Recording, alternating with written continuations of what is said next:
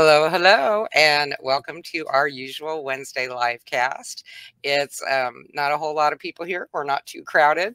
We've been working on James Tanner's week, of course, and so in a moment we're going to be uh, talking about the information and the discoveries that were found.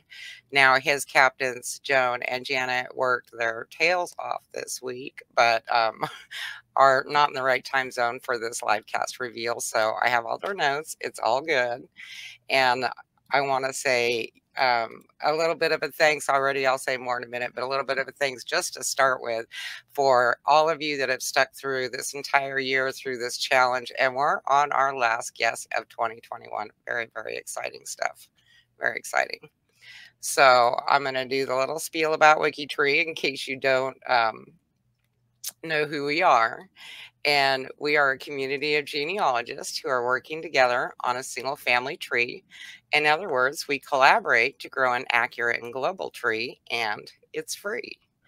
The WikiTree Challenge has been our year long event and part of our year of accuracy, where each week a team of Wikitreers takes on a genealogy guest uh, stars tree and they try and make it as accurate and complete as it is anywhere. Um, really big on the accuracy this year, and you guys have really come through on that. Now, of course, our goal is to improve accuracy on Wikitree, add more family connections, and make more friends. And we've done all three of those things. So let's go ahead and bring up the presentation and see what we have for James. And I saw you down there somewhere, Marion. Hi. So once again, we have James here, and we're going to go ahead and hit on this first line. Now, you know, I'd like to say um, that for one thing with the brick walls, and, and, I know I talk about that later too, as far as the points that people get, um, you know, but but everything that was out there, people worked so hard on this week, and I just want to recognize them for that. Uh, James's lines were very, very well researched, very well documented, and you know, and so we got off to a really big surge of a start, adding those people that we didn't have on WikiTree, and then everybody had to, you know, hit the brakes and slow down and try and find what they can. So each of these, you know, bits of information that have been collected about the family members are something while they were doing the rest of their um, really, really careful research, and it's all appreciated. Now, we start with uh, the first of the great grandparents, and so that would be on Henry Martin Tanner's line. And one of the researchers found that his fifth great grandfather, Francis Tanner of Rhode Island, had a couple of young black slaves a male named Quam and a female named Chloe. And James, we don't know if you've um, come across this in your records. Now, they showed up in the 1774 Rhode Island census and in his will. He died in 1777, so mm-hmm. right amidst the American Revolution. Uh, he wound up in the possession of your fourth great grandfather, Joshua Tanner. Mm-hmm um, presumably after Francis died. That's that's what we figure the way the records went. But in 1778, he actually won his freedom by enlisting in the Continental Army. So the law that enabled this, their special black regiment, is what they called it, in which Quam served. Um, th there were a lot of interesting stories that are worth looking into that tie into that. But as a soldier, he actually got out there, uh, you know, on the front lines and experience, experience some really serious action.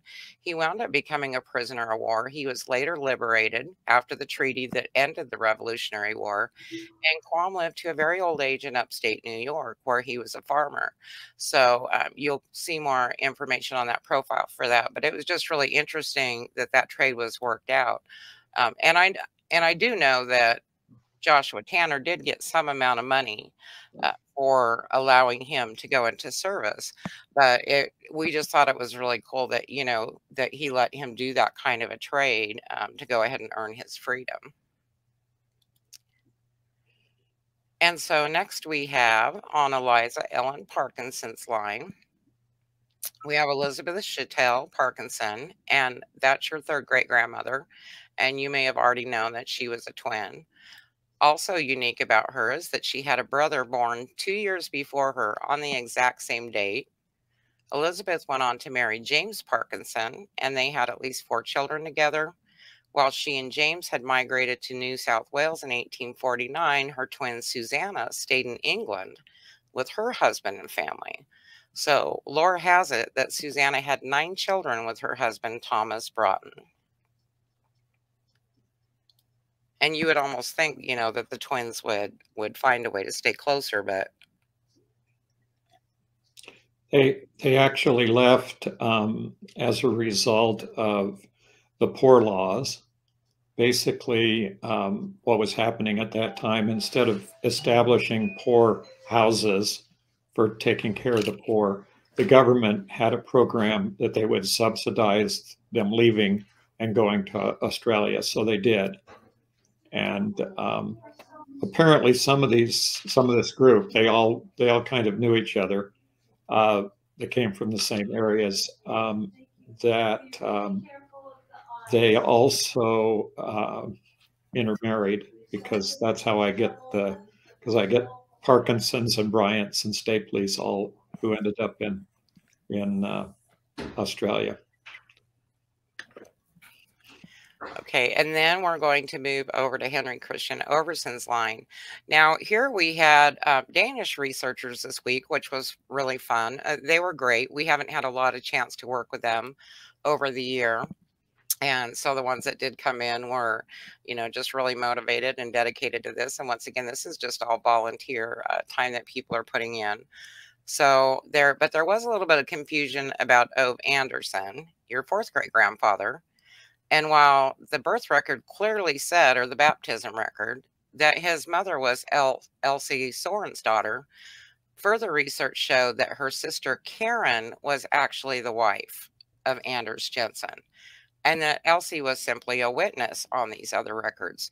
So our researcher concluded that that was most likely just an error in the baptism record when it was mm. written out, and that Karen was his mother as well. Um, since he had married Karen, if it would have been, say, an illegitimate child of Elsie's, they would have written that in the baptism. Mm-hmm. And they didn't. So um, it's thought that they just accidentally flipped those two names and Karen should be the mother and Elsie wasn't. So that's just, you know, one of the ways that they focus on being very careful and looking at everything, not just going, oh, I found a record and it says this. They look at everything around it and they they tried really hard to make your branches really accurate. That's um, really that's really interesting. Thank you. Yeah, that's it's not something you see very often. Now we go to Margaret Godfrey Jarvis's line, and here we're looking at Joseph DeFries. And I don't know um, if you had heard this either, but this is your sixth great grandfather, and he married in somewhat of an unorthodox uh, manner without banns or license. The event took place in 1753 in St. George's Chapel in Westminster. It transpires that the Mayfair Chapel was actually a center for clandestine marriages that took place without banns or license by mm. Alexander Keith, who was an, an or, unorthodox and excommunicated. And there were a number of, um, you know, marriages that that he performed, and so your sixth great grandfather was one of those. Um, but they did look extensively to make sure they were understanding that correctly. Yeah, and the DeFrieses were Jewish, and this may have been the reason, and it may have been um, what are called crypto Jews, those who hid their their Jewishness and practiced that in private, and then they would get married and have the church and go to church and all that, so that they appeared to be good Christians and uh, at the Church of England during the during the weeks, and then on Saturdays they would be Jewish. So that was that that's that's probably consistent. yeah, that makes a lot of sense, though. I've seen that in, in, you know, in other countries um, where they yeah. do the same thing. So this would be, that would be a good explanation for that. Yes. That's very good to find out. Thank you. Mm-hmm. Now here we had, and this was uh, this was an exciting breakthrough for us. This was made on the Hamilton line yesterday, and after researchers traveled to two different counties to search through the actual records in the courthouses, um, and found that Margaret Turner Hamilton's father's name was Jesse Turner. Way to go. Way to go. So there, I mean, there's no birth records for that, that area during that, that time. That you know, his uh he died intestate so there was no you know will to leave and there just happened to be one mention in an obscure book that the courthouse thought they lost that where he was they were mentioning that a bond was paid for guardianship for his children. So not only does she have a father she has four siblings now. Now her mother unfortunately this was um, you know this happened also last minute. There wasn't time to get um, further records and do the search for the mother's maiden name. But we do have the uh, name of who she remarried to and those probates, uh, it's actually listed in his estate inventory, which is attached to his profile. And it says, um, you know, the person that David Boyer, that the widow intermarried with during this probate process, which went from 1799 to 1806. So um, we have her second husband, and I she may or may not have had children with them. I don't know, but that was that was a big find. So that was very exciting. Oh, no. Yeah, that, that's great. That's wonderful. That's that's a major issue. We've I've, that's been out there for so long that I just it's one of those things where you don't even look at it anymore because you're just tired of thinking about it. I know, and you look, you know, you look on the other sites, and and you know what I was getting is that you look on all these other sites, and this person says, "Oh, it was they're descended from this person. Oh, her dad was him. Oh, her dad came from North Carolina. Oh, you know, mm-hmm. there's like all these wild guesses, but nobody had any sources out there that we could see um, when this week started. No, no there isn't and, anything. There was never anything.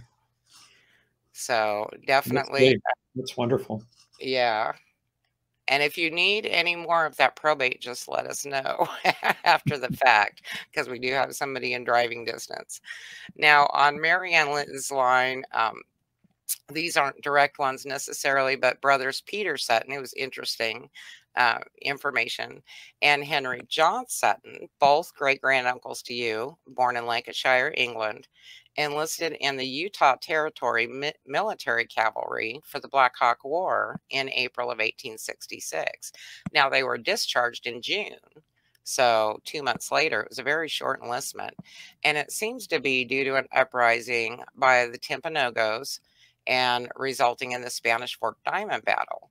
Mm. So, the chief I'm, had been, go I'm ahead. Very, yeah, I'm very familiar with all that history here in Provo. That's right here where we're here in Utah Valley. Oh, where you're at? Oh, wow. So then you know then all about this. Um, yeah, the the the, the whole story.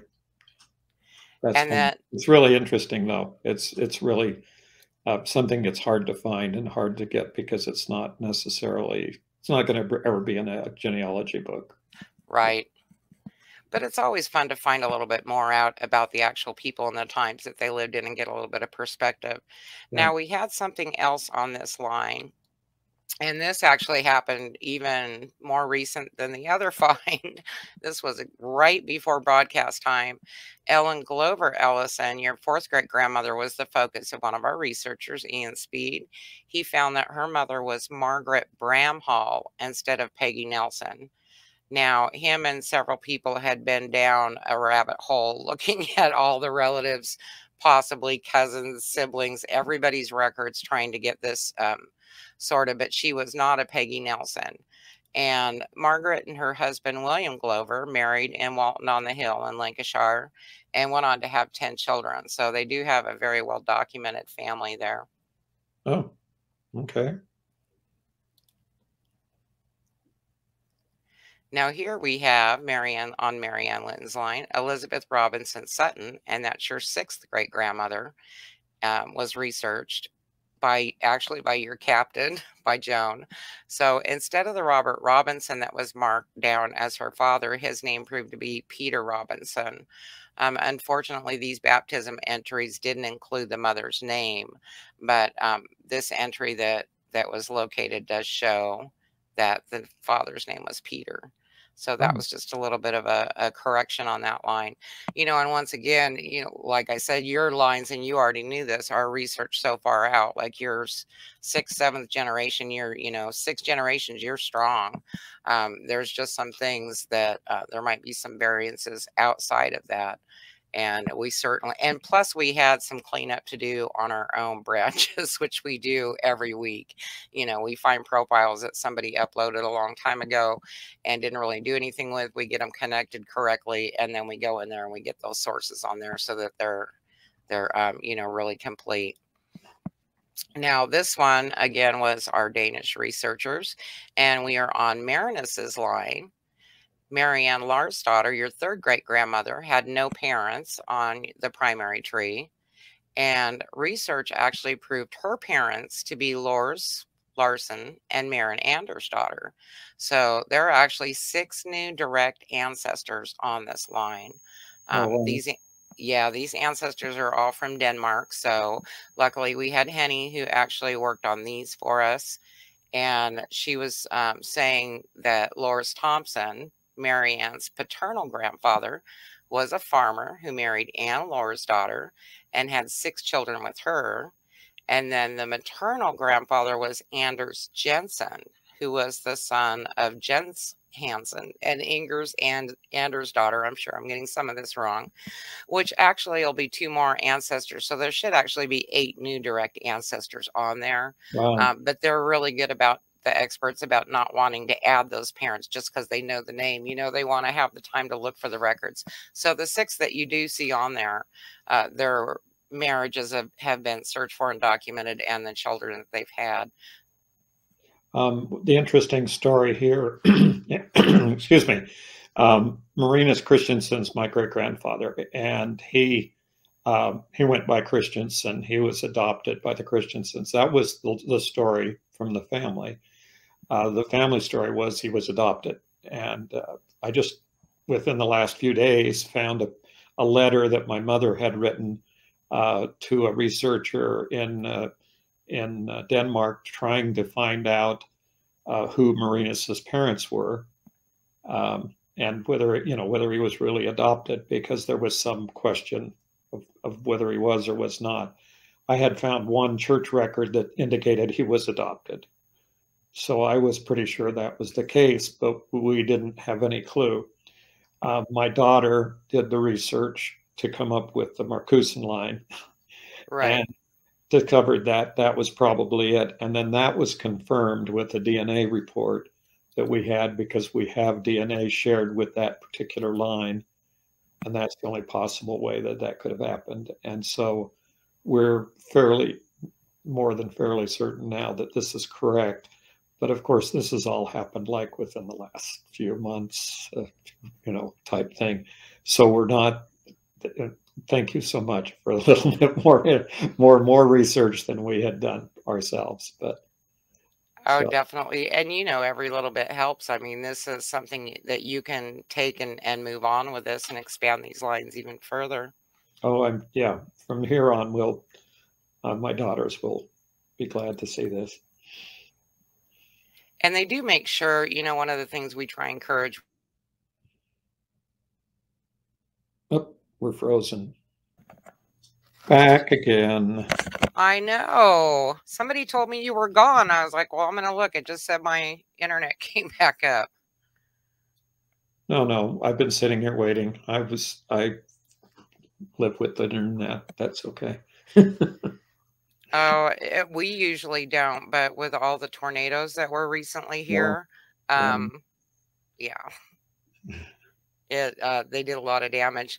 And hello, Eileen. That's what I was going to ask next, and make sure you guys could hear this because yes, um, Mindy's internet went down, but I know they have been working really hard to try and fix all of the massive damage that those horrible um, tornadoes did in Kentucky. And, you know, that's um, the least of people's worries. So I can't even complain about my internet going down for that reason.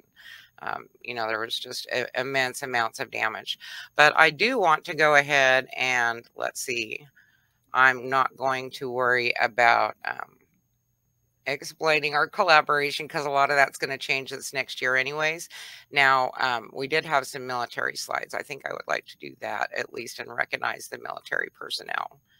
Sorry for flipping through this but we did have and you may know about all of these already james but you know we always try and honor those that that served um, and so we keep track of those while we're going through the profiles and working on them. So we have your fourth great grandfather, Joshua T Tanner, who served in the Revolutionary War as an ensign in the 4th Company um, from 1st Regiment, Washington County Brigade, Rhode Island Militia. We, you had William Ray, that was a private in the service for Massachusetts in the Revolutionary War.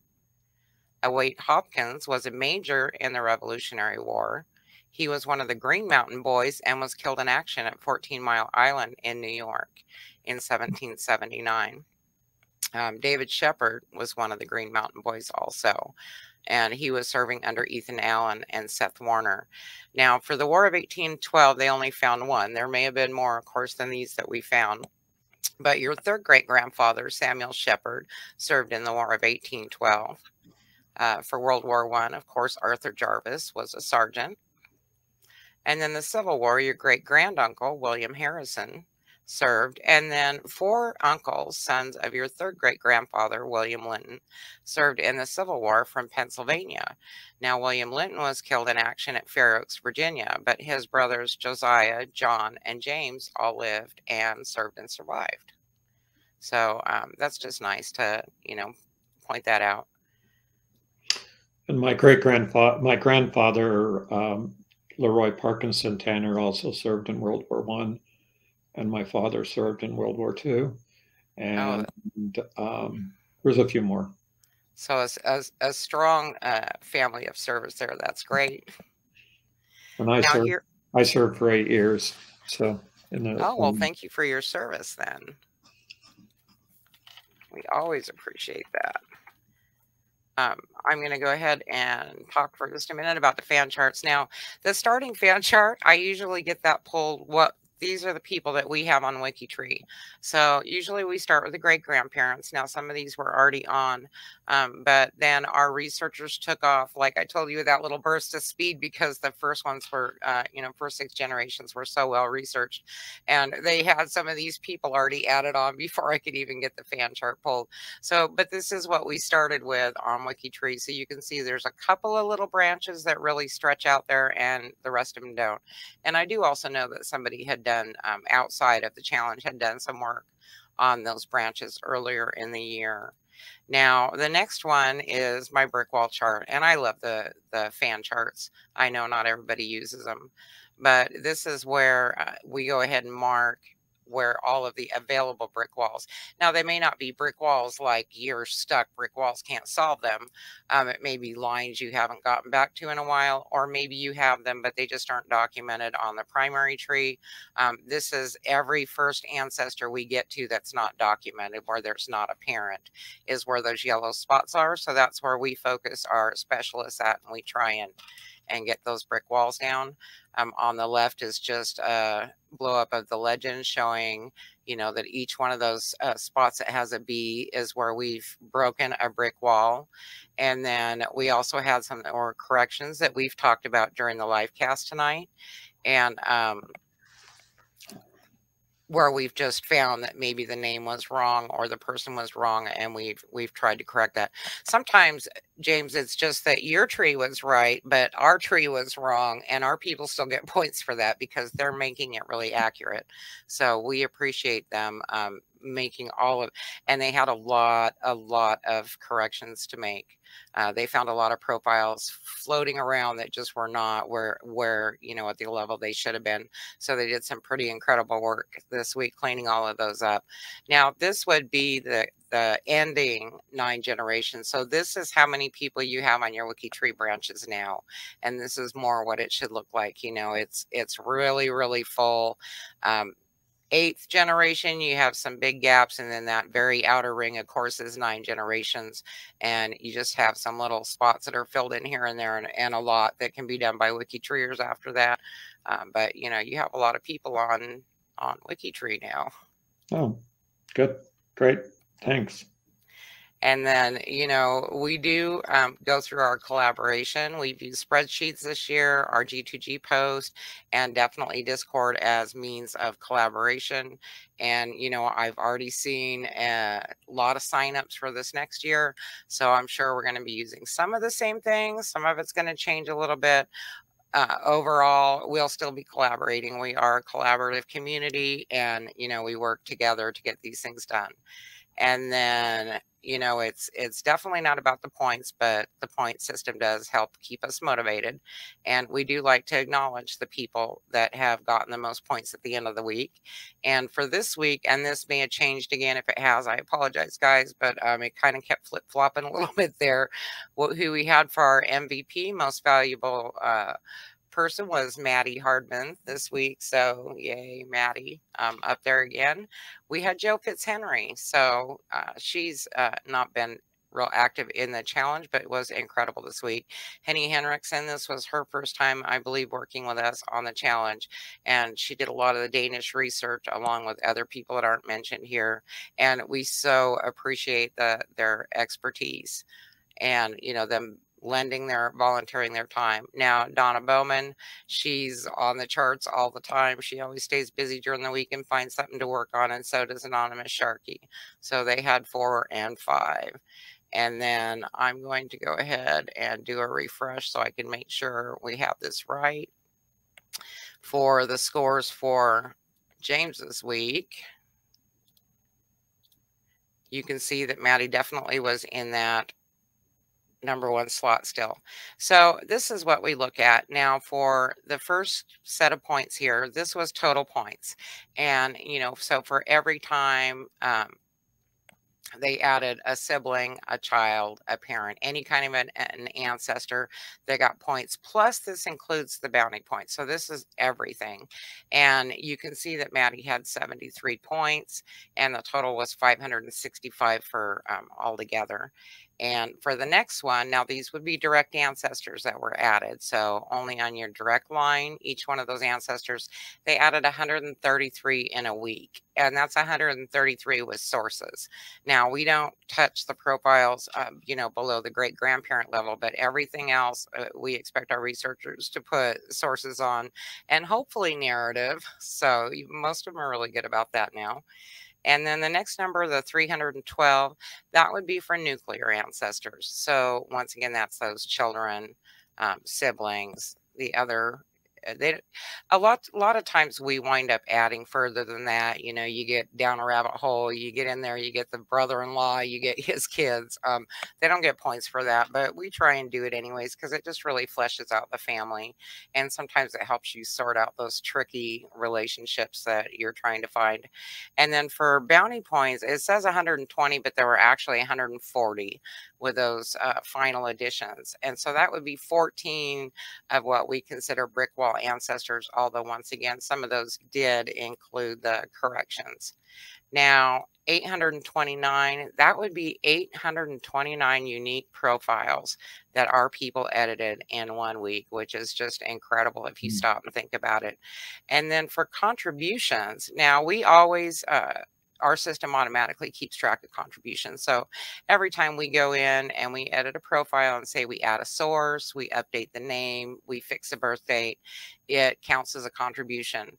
And, you know, there are a lot of things that people did uh, during the week that didn't count within this score, even, you know, for people that worked on space pages. And there is a good, really good space page about a location that you'll get a link to. And, um, you know, other things, people that were just being the second set of eyes, people that were looking for newspaper articles, stuff like that didn't count. And even then, there were 3,122 contributions during the week towards just your branches. So wow. I know it's just amazing. Um, these guys are incredible. They really are.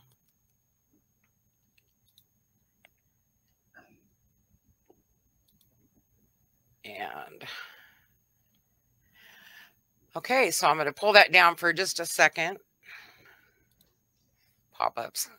And so, James, do you think that um, we at least met your expectations for the WikiTree Challenge Week and brought you new information?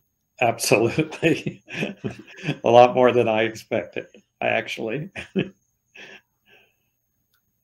But yeah, it's got to be it's got to be tough when you have such a complete, um, you know, set of branches like you do. Your tree is very full.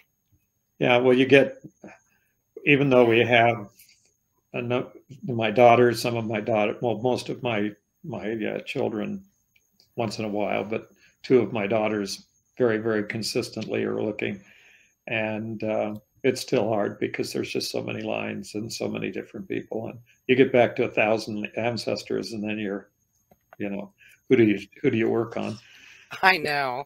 You know, and plus it's like you know it's going to take longer before you discover something. Like when you work in those first couple of generations, you're finding records left and right.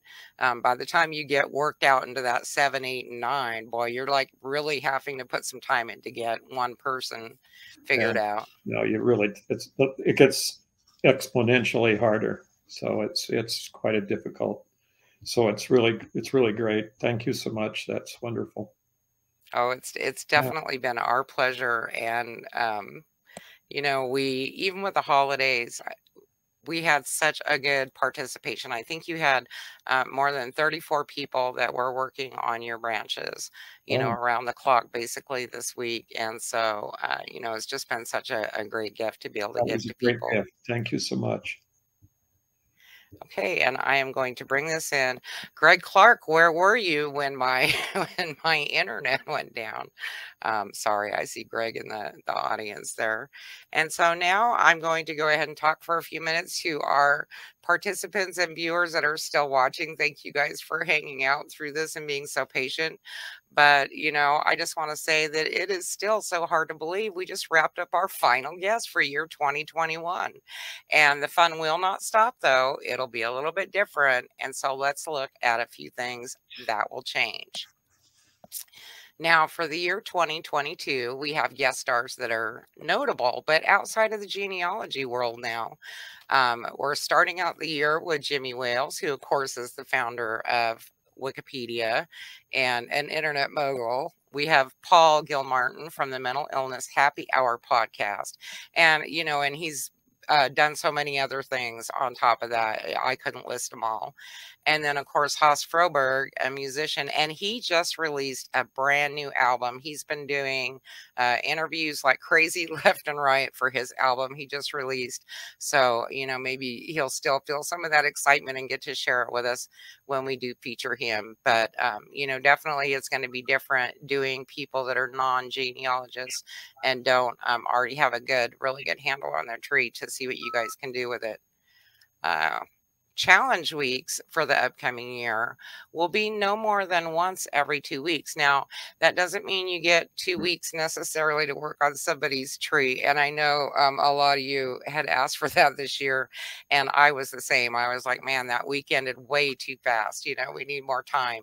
But um, it allows you to do some other things in between because some of you, these participants, I know you guys have stayed, you know, on this challenge, vol- volunteering your time the entire year. Some of you have been here all year um, doing this. And so we want to make it so that you have a little bit more time for other WikiTree fun, you know, because all the fun's on WikiTree. So on the off weeks, you can still, you know, hang out and do other things. And then another thing, one thing that won't change that much is your captains. And of course, the list of participating captains for 2022 is here, and you will see most of the same uh, supportive and friendly names and faces that you have had this year and there isn't anything um, brand new, no secrets to come out. Uh, we did split Janet and Jonah. Um, not not that they're not still great friends, but Janet will be her own captain this this upcoming year, and so will Joe. And other than that, you guys recognize all of those names. And so um, they'll still be supporting you in the challenges. Now, this is a relatively minor change. Instead of the challenge being named after a week, like we've had week 49, this was week 50, um, it's going to be labeled by the challenge number that we are on. So for Jimmy Wales, he will be challenge one. When we do Paul Gilmartin, he will be challenge two. So if we get halfway through the year, you know exactly how many guests we have done. It will be reflected by the number of the challenge.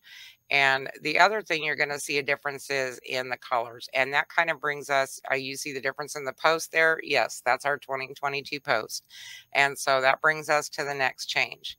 Now, um, Chris has done some really exciting updates on the WikiTree logo and tree, you know, and, and he's gotten a lot of input on this and tried to, to give something that, um, you know, people wanted and he's bringing us into the new year with a fresh new look. So, of course, let the sources decide. Ends with 2021. This was our year of accuracy. that's um, coming to an end. Not that we're going to stop being accurate, but that was our focus this year. And for 2022, it'll be a year of connections. Now, the WikiTree Challenge graphic has the new WikiTree logo highlighting our networking and you know dna connections is what these icons are all about uh, the main tree that you see on the main WikiTree uh, page has already changed and it's also been updated with a fresh new look. And here's one of the things that you guys are going to be, I think, really excited about. I'm excited about. Um, one of the things, you know, that I really wanted to see this year was more input from the participants on what you liked, what you didn't like, ways to improve it. You know, and we really didn't have a, a good solid way to have like a Dropbox of suggestions. But one of the things we're going to be doing is we're going to presenting privately to you guys instead of free popcorn, Greg. That's right, because it's going to be at your house. So um, we're going to be doing a private showing to the people that have actually researched. And that way you guys can give some input or react to the things you found. Uh, maybe you didn't know somebody found this other story out. You can react to that. You can ask questions. You can add comments on, you know, what you had difficulties researching for that guest, things like that. And it will be recorded. And, um, you know, in that way we can incorporate the snippets from that into a final video that will go online. So it won't be be live like this. Uh, the different parts of it will be recorded, but I'm really excited that you guys are going to um, be able to participate a little bit more interactively with the reveals they're still talking about popcorn. So, to find out more about the challenge and its changes, be sure to watch the WikiTree G2G forum, which is our genealogist to genealogist forum for announcements. And with all of that, I wish you all a wonderful holiday season and a happy new year. I'm excited about the 2022. Oh, and don't go away too quickly because this is not our last broadcast of the year. Now, I'm coming back next Wednesday night without the internet lapse. Hmm. and I'm we're going to be doing some exciting stuff. So there's we're going to have some of the participants and captains on. We will be announcing who the winner of the physical trophy is uh, for the year for the 2021 WikiTree Challenge. We'll be talking somewhat about the MVPs and some of those special highlights that we've come across this year, and it's going to be a lot of fun. So make sure you clear your calendar, and I will see you guys next Wednesday. Good night. Bye.